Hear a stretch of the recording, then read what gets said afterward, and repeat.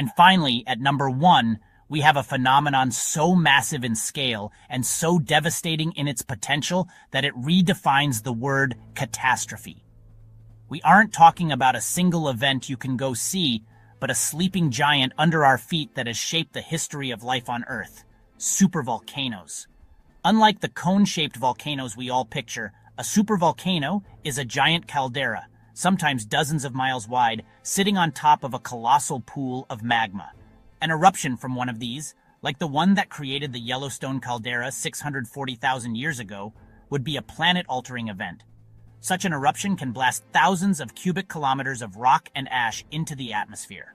The immediate area would be annihilated, but the global consequences would be the real nightmare. The sheer volume of ash and sulfur dioxide shot into the stratosphere would block sunlight, potentially triggering a volcanic winter. Global temperatures would drop, leading to widespread crop failures. Ash would blanket entire continents, contaminating water and causing ecosystems to collapse. While past super eruptions haven't been directly linked to a mass extinction event, their potential for global devastation is what puts them at the top of our list. It's the ultimate reminder that the ground we walk on isn't quite as solid as we think.